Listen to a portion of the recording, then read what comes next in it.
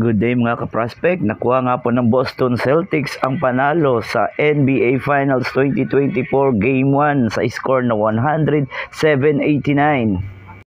Ito'y pinangunahan ng dating Dallas Mavericks player at galing lamang sa injury na si Kristaps Porzingis na umiscore ng 20 points.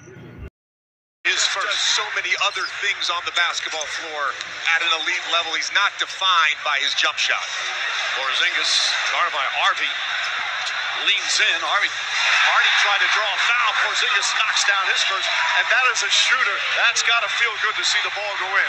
Right to Lively. PJ Washington goes right at Porzingis. Tough shot.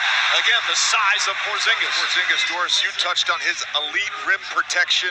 Here's an example of that. His size just makes you take a more That's difficult expected. shot. Lively on him.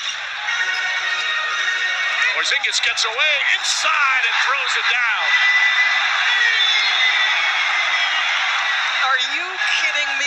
Seven foot three, lively pushing up at pressure, and KP goes right at him. Jaden Hardy goes right at Porzingis. Block shot. Saved by Brown. Porzingis has had an impact.